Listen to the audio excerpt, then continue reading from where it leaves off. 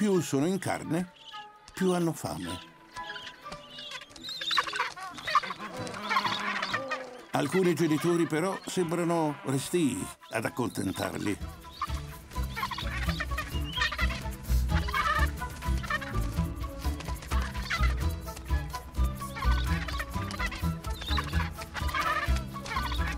Hanno i loro buoni motivi.